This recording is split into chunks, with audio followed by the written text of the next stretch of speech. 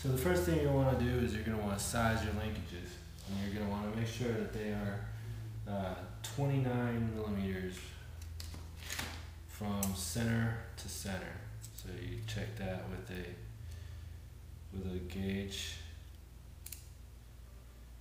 And looking at them, they look to be pretty much 29 center.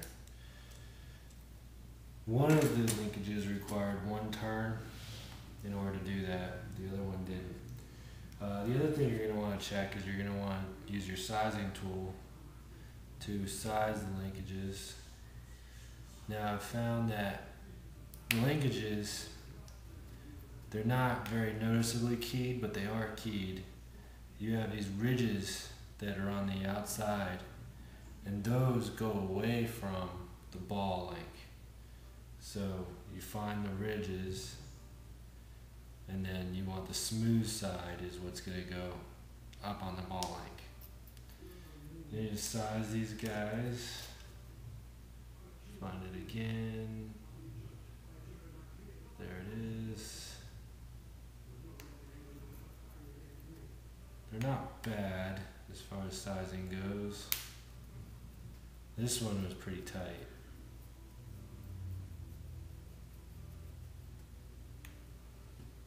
Alrighty then. So now these are guys are sized. So next thing we're gonna do is now I've measured, unlike the 450s where the ball is offset, these are directly centered. So you just need to make sure that you create an opposite. So one will be going this way and then the other one will be going this way. So go ahead and find the groove. There it is. Slide the ball on. Pop it in and then check to make sure it's nice and smooth and there's no play. So you didn't oversize the link, you gotta check that. And then we'll do the same thing here. Find the groove, pop it on, check it. Alright. Alright. So you want to make sure that you get the flybar cage on properly. So the first thing I'm going to do is I'm going to figure out which side needs to go where. So I've got find the groove. So the groove's on this side. And so I've got my ball link that's going to connect to right there. Now this guy, I want, oops, I want the grub screw to go facing up, which means I need to put this guy in like so. So I'll go ahead and grab a screw and screw it in.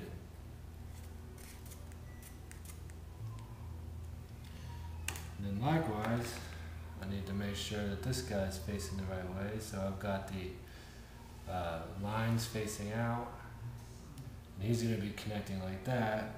So that means that he's got to go on like yay, like so. The fly bar through here. Now you're going to want to make sure the fly bar is nice and smooth in there, which it is. And then we'll go ahead and slide this guy onto the fly bar.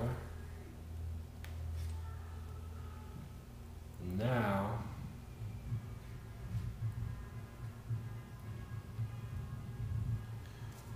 we can place the other side on.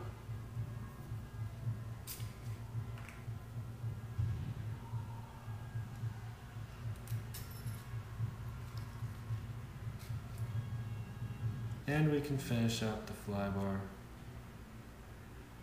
rocker assembly and flybar cage.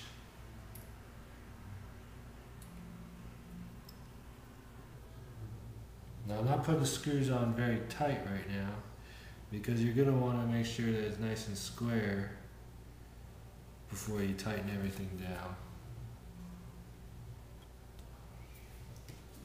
And then definitely before we do anything else, we're going to want to check and make sure that everything assembles properly. and pop them on. And there we go. Check for motion and all is good.